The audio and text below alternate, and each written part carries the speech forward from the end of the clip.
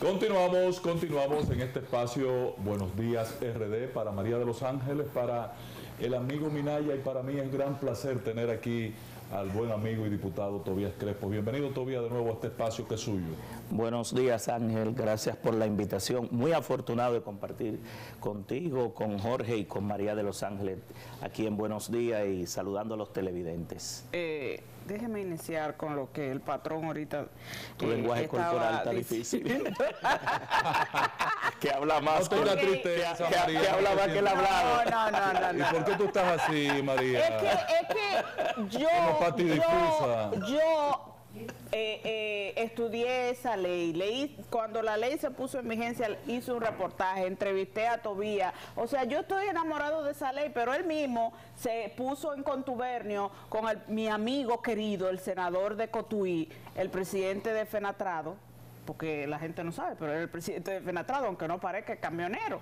Entonces, hay todavía un proyecto de ley para modificar una ley que no ha sido, eh, eh, que, no ha sido eh, todavía ni siquiera el 25% se ha puesto en vigencia de esa ley, más o menos, ¿verdad? Se creó el Intran, se creó, se le cambió el nombre a la MEA, ahora es DGC, pero ahí están los 11 reglamentos que creo que se han aprobado. 13. Pero la, la ley está siendo distorsionada. El tema de, los motoristas ahí quedó.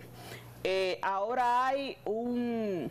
Ahora Hugo Vera eh, dirige un gabinete, pero también el ministro de la presidencia es el encargado de la OPRE prácticamente. Entonces no, no entiendo tantas distorsiones, todo lo que está pasando en, en, este, en este corredor de la charla. ¿Cómo tú defines eso todavía? Mira, un verdadero desorden lo que ha hecho este gobierno con respecto a la aplicación de la ley 317. Lo primero, una contrarreforma. El ministro de la presidencia, que es el responsable de todo esto, yo digo el responsable, aparte del presidente Luis Abinader, que ha dado dos decretos que llevan a una contrarreforma. ¿Por qué digo esto?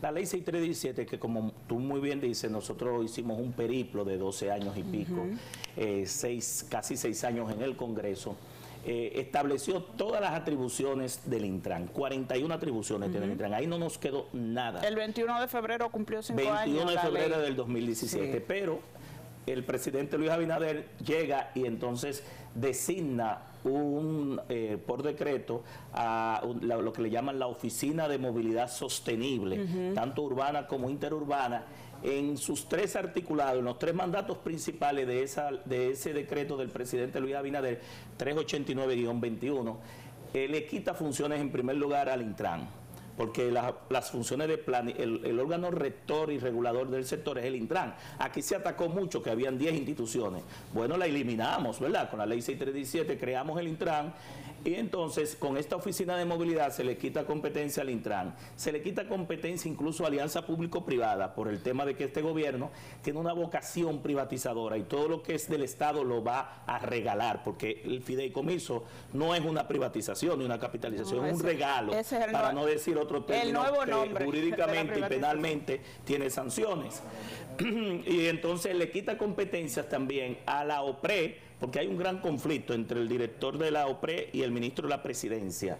Pero eso se resuelve porque para eso está el presidente y cuando hay conflicto de, competencia entre funcionarios, también está la justicia. ¿Y cuál es el rol de Hugo Vera entonces? Que María Peor aún, el, el presidente peor aún le pone por encima y esto, yo quiero decir que el transporte es algo muy serio, la movilidad, el tránsito, la seguridad vía, lo que impacta en la economía, para usted poner a un cómico, a un humorista, y déjeme decirle que yo lo digo con responsabilidad. No, pero no fue a Freddy Vera.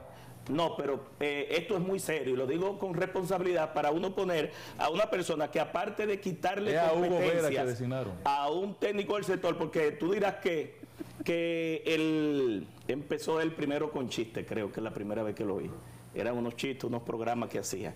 Pero ah. nada, eh, lo que le digo es que tú... Era usted que lo veía. Él solo. tú, estamos hablando de algo muy serio. Uno se ríe, eh, pues eh, eran buenos los eh. Ángel, uno se ríe, tú que fuiste diputado, después uno trabaja 5 mil horas de comisiones y una comisión de 15 diputados, 400 y pica de comisiones, vistas públicas. Hubo una experta argentina pagada por el gobierno con 27 años de experiencia en transporte terrestre para que nosotros veamos este desorden. Entonces te ponen a un director de gabinete también, es decir, aparte de la oficina de movilidad, que le va a quitar competencia a la OPRE, a la Intran, a la ONSA, porque al final el FITRAN, que es un fideicomiso que está manejando el ministro de la Presidencia, vincula de manera adherente y, como dicen, eh, vinculada a todos los corredores que van a entrar. Son 16 corredores, han entrado tres y hay problemas. Entonces, pero no solamente eso, sino que como bien dice nuestro amigo Ángel, el gobierno ha propiciado este problema, ha puesto a ratón a cuidar el queso. ¿Qué significa esto? Que es difícil que cuando eh, eh, los intereses del sector tú lo pones a dirigir, nosotros podamos tener un órgano regulador, un órgano que establezca la política pública de manera fuerte. Pero yéndonos al tema... ¿Por qué en la ley tú estableciste que le entregaran esos corredores, esas rutas gratis? No, a, no, no. a- a los sindicalistas. Entonces ahora el gobierno quiere eliminar la ONSA y el Estado se va a quedar Mira. sin, sin respuesta. Mira. si toda esa gente se van a huelga, ¿qué vamos a hacer? Lo que María bueno, de los Ángeles, eh, eh, no es así. La ley establece en primer lugar que las rutas son del Estado, que es el que las construye, la- le da mantenimiento, voy ahí porque hay una violación a la ley también en los corredores, no solamente con los decretos, eh, que es el que las construye, las conserva, le da mantenimiento, que las opera, porque esto es un servicio estratégico para el país. El transporte no es como dice el ministro de la presidencia que debe ser rentable. Yo entiendo que debe ser rentable, pero debe ser rentable también los privados que le están, se reservó, se reservaron mil millones de pesos para fondear estos corredores, porque la, el- el- lo que llaman el punto de equilibrio y porque establecieron un peaje sombra para dar subsidio, no se va a alcanzar. Entonces se está Ah, pero es cierto lo que, mientras espérate, es cierto lo que eh, eh, hubiere denunció en ese sentido. no fue hubiera, fue un diputado del propio PRM del gobierno, Elías Mato, colega nuestro, diputado, vicepresidente administrativo y financiero de Fenatrano, denunció que en diciembre se le transfirieron 50 millones de pesos. Después vi a un eh, colega nuestro, senador, eh, decir que no fueron 50, que fueron 40 y que hay Oh. mil millones, y que hay mil millones, aparte del gasoil subsidiado, y que hay mil millones ahí para seguir eh, eh, dando ese subsidio. Al privado, pero entonces el gobierno te saca la onza, te saca el público. Entonces es un absurdo que el lleven al presidente de la República a montarse en un vehículo privado, que yo estoy de acuerdo que haya transformación, que haya modernización, que haya vehículos en buen estado, que haya choferes certificados, que haya frecuencia, itinerario, seguridad de que el pasajero va a llegar eh, del origen al destino de manera segura y a una tarifa justa. Eso es lo que apuesta la ley, a una masificación, a una colectivización. Pero lo que se está haciendo está violando la ley, porque también las rutas, dice la ley, cuando el Estado no la puede operar con los sistemas masivos, que es la apuesta, el metro, el teleférico, los trenes, los tranvías, eh, los BRT, que son los, las, las rutas de buses de alta capacidad, entonces la puede concesionar a través de una licencia, María, por cinco años. Entonces el fideicomiso que, que se está dando es por 20 años, ¿sí? mientras la ruta, dice la ley, que es por cinco años, el, el- el gobierno le está dando eh, cuatro periodos más, tres periodos más. Por encima de lo por encima la de la ley. Y la ley dice que es renovable eh, cada cinco años, pero tres meses antes se, re- se renueva, Revisión. se revisa. Entonces, que el empresario pone el dinero, pone la inversión. Pero aquí no está poniendo nada. Por eso. Hay una garantía. Hay Debería. una garantía del, del Banco de Reserva, y lo digo yo que he leído porque el fideicomiso no es malo. Lo pernicioso y lo peligroso es el contrato que soporta el fideicomiso. Cuando usted va a esos contratos que, que es de derecho supuestamente privado y no hay una ley de fideicomiso público. El mismo presidente Luis Abinader retiró Punta Catalina porque no había una ley de fideicomiso público y público-privado. Entonces, está- que está de entrada, estos tres fideicomisos caen en la ilegalidad porque hasta que no se apruebe esa ley, porque la, ley 189-11 fue para el desarrollo de vivienda de bajo costo, lo que le llaman el BBC, ¿verdad? El fideicomiso de vivienda de bajo costo. Luego se puso ahí RD Vial, que cae en la ilegalidad, parquea de TRD, y los 22 fideicomisos que este gobierno está experimentando caen en la ilegalidad. Ojo, a la gente que está presa, no están presa por cumplir la ley No sé si me entiende. Es por violar la ley y eso de manera franca nosotros lo estamos diciendo con mucho tiempo de antelación de que se está violando la ley. Entonces, María, te asignan eh, la, ruta. Primero, la, ley dice que debe licitarse.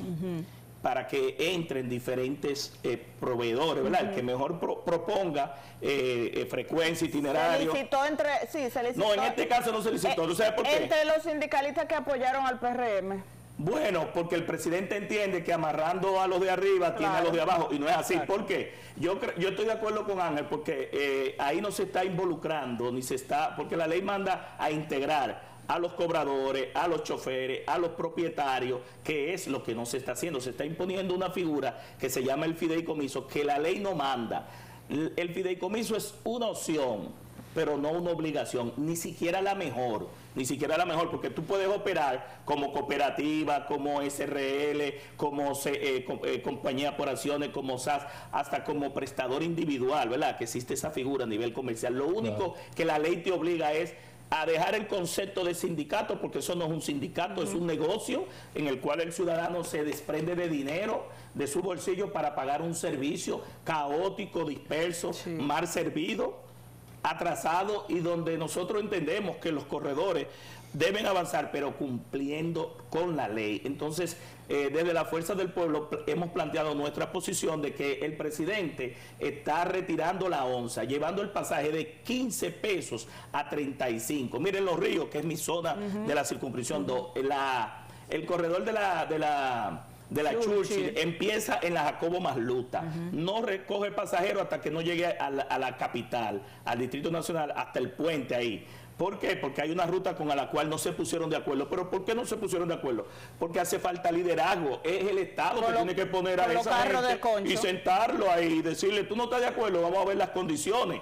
Pero para eso tiene que tener credibilidad. Es decir, no puede ser el que cuida el queso el ratón que cuida el queso porque tiene intereses. Entonces ahí tiene que haber personas con suficiente credibilidad para sentar a todo el mundo y decir, no, la ruta viene de tal punto a tal punto y todos los que están ahí deben entrar, no obligándolo a un fideicomiso, sino al mecanismo. Entonces, eh, pasa por la República de Colombia. Sacaron la, la, onza C4, que desde, yo recuerdo que desde Onatrate yo cogía de los aldides del norte, pagaba 10 centavos con un token que parecía a esto y hacía el transfer y podía llegar hasta, hasta Cancino, porque funcionaba. El esquema de Onatrate fue el primer esfuerzo de colectivización en el gobierno de Antonio Guzmán Fernández, que después lo tumbó eh, Salvador de Branco por conflicto entre, entre propios eh, dirigentes de el PRD. Pero eso funciona, el transporte público masivo funciona. entonces, la integración técnica, operativa y tarifaria también funciona, pero tiene que ser el gobierno lidereando, no sé si me entiendes, ¿sí? dejaron sin servicio Villa detrás del 9, Villa, Villa Marina, el, los barrios del Caliche, Los Pinos, todos los barrios de la Guayubín, la Río Grande, ahí, por los próceres. Tiene, que, ir a pie, tiene que ir a pie, Ángel, a la República de Colombia para ponerse en contacto con el corredor y bajar a la feria. Eso se va a llenar de carritos. Pero un motorcito te agrega a los 15 pesos, que era la, oye, tenía 15 pesos, ¿verdad? Te lo aumentan a 35 y entonces tiene que pagar un motorcito para llegar a ese punto, para bajar a la feria. Pero es decir, que el pasaje aumenta más de 200%. De, de esa explicación que tú das, Tobías, a mí me queda la confusión de que si el propósito es eliminar la onza. Sí, el propósito final es eliminar la onza, privatizarla. Pero, eso es loco, eso no puede ser. El Estado sin, Te voy a mandar, eh, Ángel, el contrato del FITRAN, y donde ahí no se habla de la onza. Ahí no se habla de la OPRE, porque no es solamente la ONSA. El metro de Santo Domingo lo van a privatizar también. Es decir, privatizan la ONSA. No, ya son empresas públicas, tanto la ONSA como el metro en la ley que tú... No, pero el fideicomiso no es público. Te crean un patrimonio ah. autónomo, independiente, donde no hay transparencia. No tienes que cumplir con la ley de compras y contrataciones. No entra la Cámara de Cuentas, no, entra la Contraloría General de la República. ¿Los empresarios van de robo? Claro, y te dan subsidio. Mira, el fideicomiso del FITRAN dice que de inicio el ministro de la presidencia eh, transfiere 750 millones de pesos al, al FITRAN y que durante los presupuestos de todos los años, sin definir el monto, puede seguir transfiriendo a ese patrimonio aparte que es va a ser privado, ¿verdad que sí? Ay, Montos del presupuesto que no están definidos. Y que lo cual es ilegal porque no está aprobado todavía el presupuesto del año que viene. pero ejemplo. tampoco está aprobada la ley de, de fideicomiso público, privado y Claro, público. porque Es digo, decir, tú no el puedes primero- comprometer el presupuesto del año que viene porque no ha pasado por el Pero Congreso. yo le voy a mandar los aspectos para que ustedes vean que yo, y al final ahí ni siquiera se habla el de los ayuntamientos, es decir, el FITRAN Que lo va, va a desarrollar de manera inmobiliaria todos los entornos donde están las estaciones, las paradas, las terminales. ¿Cómo vamos a quitar el? Es un desarrollo, no, el Intran no se menciona, se menciona al inicio cuando da la ruta, pero después que la da, el mismo FITRAN, que es privado, puede modificar, alterar y cambiar eh, todo lo que tiene que ver con funciones del Intran. Por eso es que yo digo que aquí hay una contrarreforma. Al final el transporte va a quedar en una sola persona, en un solo nombre y en un solo sector. Ahora, una pero pregunta. entonces, ¿qué va a pasar? ¿Qué tú crees que va a pasar con esos líos que hay ahí en la Charles de Gol? Porque los carritos de Concho dicen que no se van. ¿Por qué está ocurriendo eso? Por la falta de, de liderazgo desde el gobierno, porque el gobierno es que ha creado todos estos problemas. Ahí hay veintipico de rutas. Se negoció con un transportista para que apoyara la reelección, ¿verdad? Pero entonces todos los cobradores... ¿Cómo es, cómo es, cómo es? Repíteme eso que no entendí. se negoció con dos transportistas para que apoyaran la reelección del presidente Luis Abinader, porque en esto está involucrado la reelección, el apoyo incondicional al presidente de la República. Y lo digo con responsabilidad. Cambita.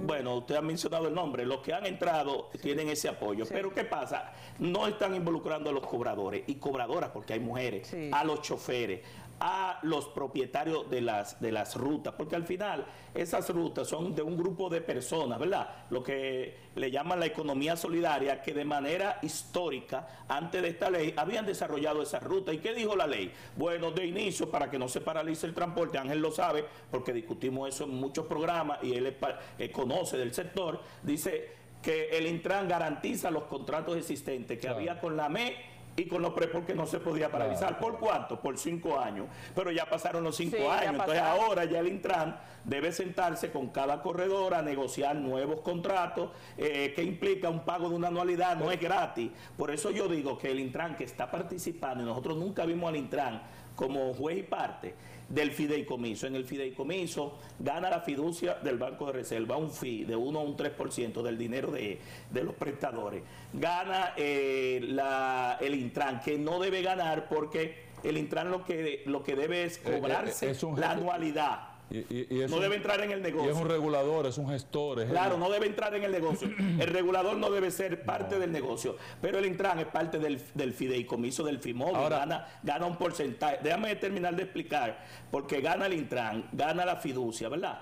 Eh, y al final pierde el ciudadano que el pasaje se lo llevan de 15 a 35. Le quitan lo público, la onza, que las rutas son más largas. Son vehículos eh, ma- eh, modernos, es decir, Volvo, Mercedes-Benz, Marco Polo, de mayor calidad que lo que se están poniendo, lo dijo el director de la Sí, onza. pero los vehículos chinos son buenos, eh, para que esté claro. No, eh, no, no, porque buenos, en China hay de todo, hay baja gama, media gama y alta gama. Es decir, no Sí. estoy hablando mal de país, sino de la calidad de los vehículos de la onza que se compraron Que vienen con de recursos Brasil. del la- Estado. Esta guagua de la onza lo que vienen es de Brasil. Incluso te puedo Polo. anunciar eh, la premisa de que cuando la OPRE termine la extensión de la línea 12 del metro a los Alcarrizos y conecte con el teleférico, que creo que no va a ser en este gobierno porque no va a dar, no va a dar tiempo, sino Que es una el obra de Gonzalo, de. Gonzalo y de Danilo, ¿eh? Eh, en- entonces, Dilo, esa dilo, que es una obra de Gonzalo y de Danilo. OPRE- esa Dilo, OPRE, dilo. Leonel Fernández empezó la modernización y la transformación del sector de transporte. Primero creando la ONSA, una continuación de Onatrate, luego el metro línea 1 y 2. Lo que hoy atacaban a Leonel, hoy están extendiendo y instalando monorrieles, Pero mira una tranvías. cosa. Y luego el presidente Danilo Medina siguió, siguió y continuó ese plan que llevaba a 20 años. Hoy por hoy, Ángel, debieron haber cuatro líneas de metro. Claro, claro. Cuatro líneas. Yo estaba tren, opuesto al y un- metro y tengo que reconocer que, que, que quedé mal ante el país. Mira Quítale al, al metro ahora mismo 260 mil pasajeros diarios está manejando. Y el luce metro. que es autosuficiente. Y, y- y- la ONSA está manejando 20 mil. Mira una cosa. Cualquiera quiere, eh, quiere ese cash flow diario Wow. que maneja el transporte. Son 3 millones de viajes de, ida- de ida y vuelta todos los días que se dan en el Gran Santo Domingo. Todavía, a mí me llamó la atención cuando se llamó a la mesa de diálogo en el caso particular de transporte. Pues yo entendí que, que debió ser una mesa, y, y lo dije, más amplia. Eh, no solamente transporte, sino que había otros aspectos de la movilidad, la movilidad que había la seguridad viaria, que había que abordar. Los Sin embargo, aspectos de la ley. Exacto. Sin embargo, el gobierno se quedó solo en el tema transporte. Y no obstante eso, para mí hoy lo de la mesa del diálogo es un fracaso total. Yo era el coordinador de la fuerza del Jugaste un rol trascendente en esa claro, y planteé las posiciones de manera responsable. Lo planteé ahí, tú lo sabes, lo planteé en la prensa y eh, eh, iniciamos una rueda de prensa. Pero ¿qué pasa? Que el gobierno, Ángel, lo que quería es que los partidos de oposición le legitimáramos estas cosas, estas situaciones que van en contra y uno no puede, yo de manera responsable lo que está bien lo digo, es decir, eh, los corredores deben seguir los 11 que faltan, los 16, pero cumpliendo con la ley. Sí, porque yo no quiero ser irresponsable para que mañana después me salgan aquí a relucir a mí que todavía Crespo, el autor de la ley, estaba opuesto a la modernización, a la transformación, a los corredores. No, muy por el contrario. Eso es un mandato de la ley, pero la ley lo mandó para que se cumpliera. Al presidente de la República, a los ministros y a los directores se, le, se les juramenta, ¿verdad? Se le toma el juramento para cumplir con la Constitución y las leyes. Y eso es lo que yo voy a defender. Voy a defender mi último parto, que tú sabes, Ángel, que fue muy tortuoso, muy tortuoso. llegar al consenso político del PRD, del PRM, del Partido Reformista, del PLD, los partidos minoritarios, ese 11 de, febrero del, 2000, eh, del 2017, cuando se aprobó, se ratificaron los cambios en el Senado, y luego el presidente Danilo Medina la promulga, ¿verdad? Eh, cuatro meses después designa a la directora del Intran y a todos los directores de cada uno de los sectores que implicaba esa ley, fue un paso de avance porque eliminó 10 entelequias. Oye, estaba la OTTT, la DGTTT, el FONDE, la Caja de Jubilación de los Choferes, estaba la Dirección Central de Seguridad Vial de la Policía, el Departamento de Vehículos y Motor de Impuestos Internos, la Politur. Es decir, aquí todo el mundo quería dirigir un sector importante. Entonces, logramos el consenso, nos dimos la ley, por favor, presidente de la República y ministro de la Presidencia, que son los que han estado eh, confrontando, porque el gobierno, más que confrontar, debe integrar, debe sumar, porque al gobierno se le elige para que le dé al que no tiene y le mejore al que tiene. Y este gobierno le está quitando al que tiene y no le está dando nada al pobre, que, lo que cuando tú al pobre le aumenta el pasaje y entonces lo obliga a caminar a pie o a forzar a coger un motor que cuesta más caro a veces que los 35 pesos, los 15. Por eso es que usted ve cuando sale el metro, vaya a la estación del metro, como la gente con su latica de, comida, sale a pie a hacer un recorrido porque no puede pagar el otro pasaje o tal vez se va en bola pero han conectado las guaguas y los corredores. No, esa integración no se está dando. Ah, pues pero ese es el éxito, ese va a ser ya, el Ya vamos a terminar esta huelga de las 14 provincias del Cibao, ¿cómo la define? Bueno, el, pueblo tiene derecho a protestar cuando no se le, eh, bajo de manera pacífica, porque la Constitución establece que debe ser pacífica. Eh, parece que se está agotando la paciencia y la karma, porque este gobierno ha sido de promesas, de palazos, de Picasso, y un director de, comunicación que adjudica casi dos mil millones de pesos a una empresa consultora para fake news, para crear los Abinabots. Los bots. Déjame decirte oh, que eso de, de pagar consultores, yo al inicio de este programa, tú puedes estar seguro que todos los votos de Palacio estaban preparados para atacarme a mí. Y eso, usar recursos del Estado para atacar a la, oposición es pernicioso y peligroso. Yo te lo digo porque yo nada más eh, sé ir a un programa y ya empiezan los votos a enfrentar a un opositor, a un legislador que lo que le está diciendo a este gobierno es que haga la cosa correcta. No hay gobierno sin oposición. O, hay gobierno sin oposición. Totalmente de acuerdo. Entonces, usted no puede utilizar los recursos del Estado, primero para decir mentiras, porque aquí no se ha puesto un blog.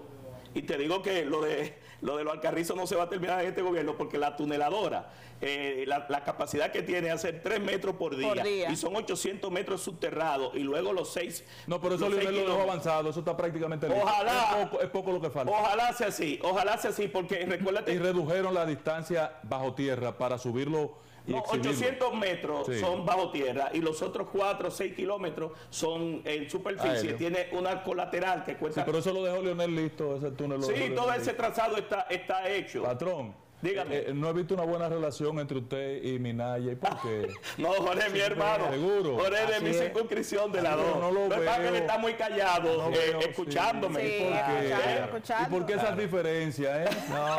Señores, gracias, gracias, eh, Tobías, gracias, compañeros, Minaya, Jorge, Buscando María de los chisme. Ángeles. Jorge, no te, no te María, dejes yo- provocar. Chimoso aquí es Pedro.